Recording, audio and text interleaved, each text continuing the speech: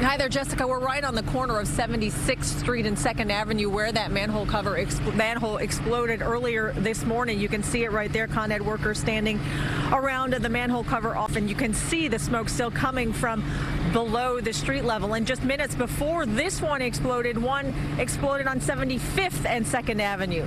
And EMS tells us that two people suffered minor injuries. As you saw, Con Ed workers are here. Also, uh, the New York City Fire Department here on the scene. They did have to evacuate the basement level of 240 East 76th Street, right next to this manhole where high levels of carbon monoxide were measured here. Um, many, this may have been a weather-related incident. As you know, living here in the city, um, this happens often after a long winter. The salt that is used to melt the snow on the street after the snow melts, it gets that salt gets down under the street level and eats away at the electric wires, causing fires.